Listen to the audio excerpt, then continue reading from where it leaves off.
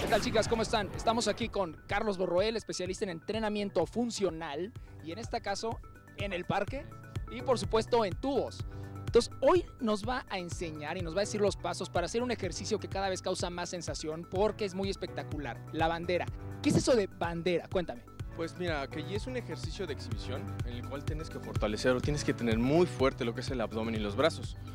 O sea, no es un ejercicio que yo te recomiende hacer tres series de 25 repeticiones, pero sí es un ejercicio muy vistoso y en el que te das a, a notar que tienes mucha fuerza. O sea, es como para impresionar a las chavas y lucirte. Y es como, digamos, la prueba máxima de fuerza para este tipo de entrenamiento. Uno de los ejercicios más difíciles, sí. Muy bien. Cuéntanos qué necesitas hacer antes de poder hacer la bandera. Bueno, es importante mantener muy fuerte lo que es la zona abdominal, lo que le llaman el core, la parte de la, de la cadera, la espalda baja. Y bueno, los brazos son súper importantes. Mira, te voy a enseñar cómo va el ejercicio. Nada más dinos primero los pasos para hacer este ejercicio.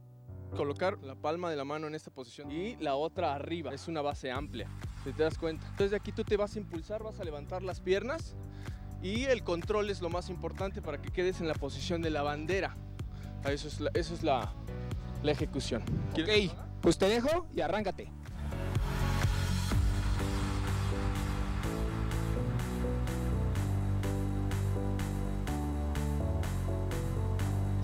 Que, mantengas las piernas lo más estiradas posibles.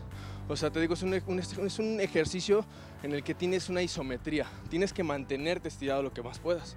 Oye, entonces aquí sí, en la gente que entrenamos aquí o la gente que entrena aquí en esos tubos, sí de verdad, aparte de estar fuerte, son fuertes, que es lo ideal, ¿no? Son muy fuertes. Toda la gente que viene aquí al parque son extremadamente fuertes. ¿Por qué? Porque no cargan una barra, cargan todo su cuerpo. Ok, Carlos, pues muchísimas gracias. Y a ver qué otros ejercicios nos pones después, ¿sale? Claro que sí, para eso estamos. Sale, nos estamos viendo, chicas.